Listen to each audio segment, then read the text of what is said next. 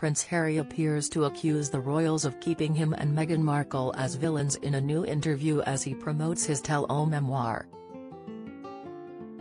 The Duke of Sussex, whose book Spare is out on January 10, also says they've shown absolutely no willingness to reconcile in an apparent reference to his family amid the bitter ongoing rift, and adds that he wants his father King Charles and brother Prince William back.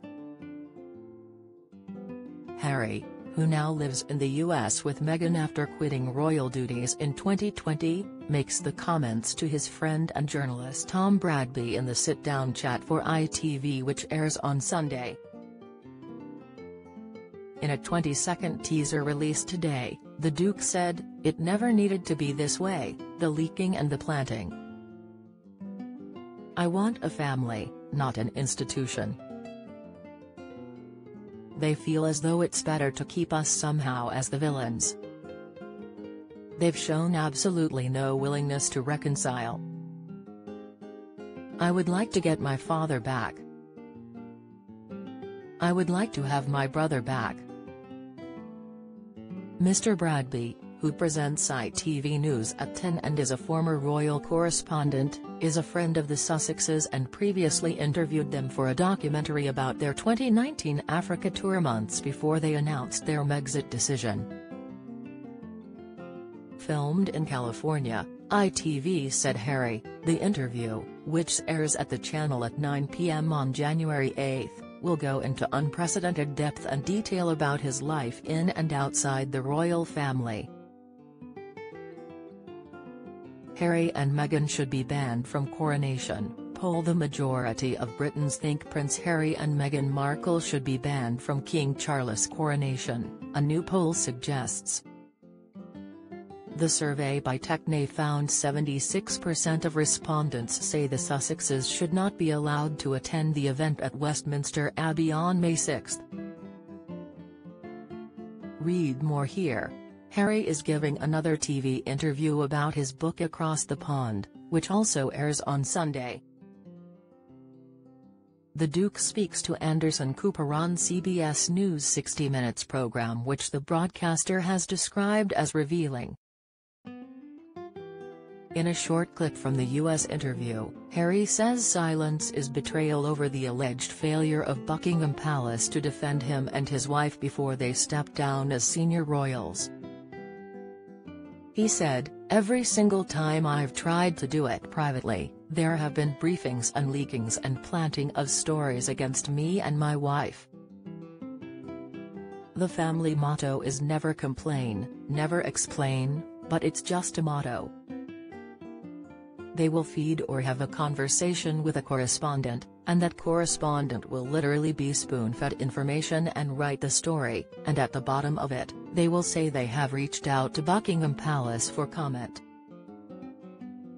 But the whole story is Buckingham Palace commenting.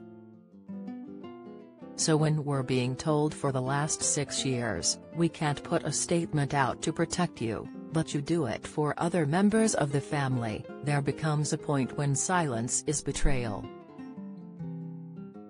It comes as the royals will be bracing for the release of the tome, which has been billed as a book of raw, unflicking honesty. A source said the king will escape the brunt of the criticism in the memoir despite his fractured relationship with his youngest son. The insider said the book will be tough on Harry's older brother the Prince of Wales, who is second in line to the throne. The Princess of Wales will also reportedly come under fire from the Montecito-based Duke. The source with knowledge of the memoir told the Sunday Times, Charles comes out of it better than I had expected, but it's tough on William, in particular, and even Kate gets a bit of a broadside. There are these minute details, and a description of the fight between the brothers. I personally can't see how Harry and William will be able to reconcile after this.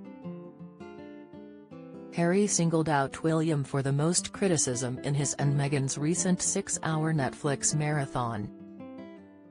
he claimed the future king screamed and shouted at him during a summit at Sandringham in January 2020 with the late Queen and Charles to resolve the Megxit crisis.